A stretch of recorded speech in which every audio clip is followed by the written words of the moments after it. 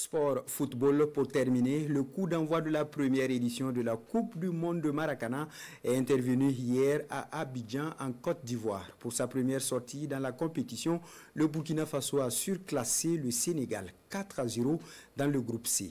Une belle entame pour les étalons qui peuvent désormais se focaliser sur leur prochain match, c'est contre le Togo.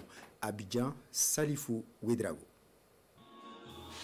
Un début de rêve pour le Burkina à la Maramon Abidjan 2024. Les étalons du Maracana balayent les lions de la Teranga et lancent parfaitement leur aventure en Éburnie.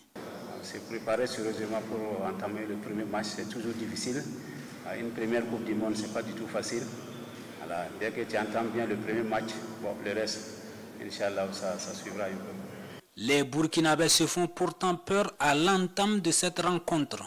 Les hommes de Patrice Seri concèdent matinellement ce penalty. Le Sénégal n'en profite pas.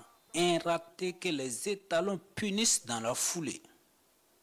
Ismaël Yanou ouvre le score pour le Burkina. Il est imité quelques instants plus tard par Cheikh Zerbo. 2-0 pour les étalons à la fin du premier tiers-temps. Ils maintiennent leur domination et améliorent leur capital en début du deuxième tiers-temps. Bourema Sawadgo aggrave le score et dans le troisième et dernier tiers-temps, Boubacar Ouedrago donne de l'ampleur au succès burkinabé 4-3. Le championnat a été bien préparé, mais en particulier le match du Sénégal parce qu'il fallait faire la victoire. Le premier match est très important pour une compétition pour mettre les enfants en, fait, euh, en confiance. Nous, on a amené des joueurs qui n'ont pas d'expérience et c'est leur première compétition internationale. Là, ça va être très compliqué. Ils ont été trop frileux, trop précipités, c'est pour cela.